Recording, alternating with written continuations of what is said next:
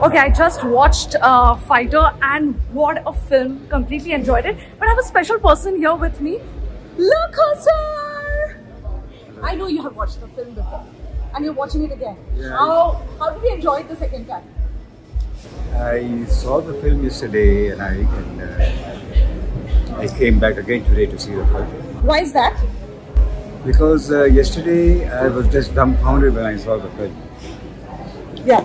and I'm very proud that we have a director with us today who knows uh, what a formula film is where there's romance, there's action, there's music, new subject decorated with all the ingredients which the audience wants and that's a wholesome entertainment.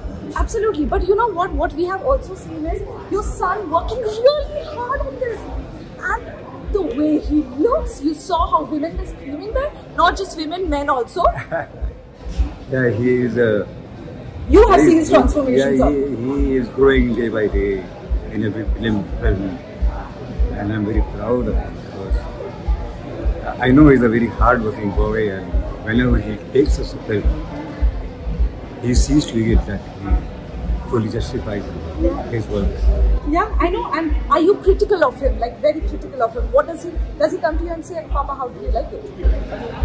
Uh, he has never given me that chance. I always go to him and tell him, "You have done a fantastic job in every film."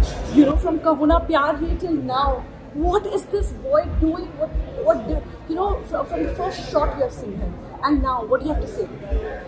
I think he is growing day by day, and I think I I bless him to do go higher and higher, and be a fighter always.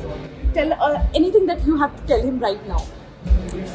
I tell him uh, I'm very proud of you, Hrithik, and keep flying, keep working hard as you always do, and we all love you.